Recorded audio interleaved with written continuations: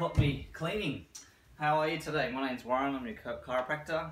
Lately we've had a few patients turning up uh, that they've had a bit of a sore back after cleaning. So we're just going to give you three tips just to help it a bit easier, especially when you use the broom today.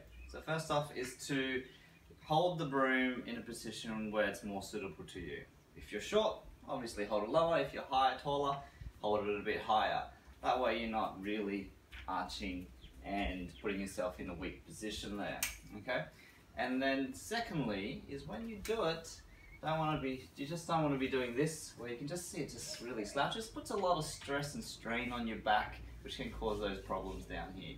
So what you want to do is actually keep it straight. So the difference between this and that.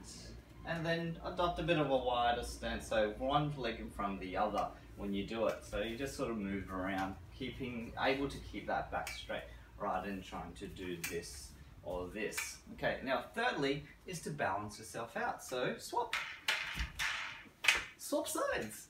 Uh, and then you go this way and then you can go this way and then this way. So that way it just balances your muscles out rather than working one side harder than the other. So give us a go, see how it works for you, give us lots of comments and we'll see you soon. Bye.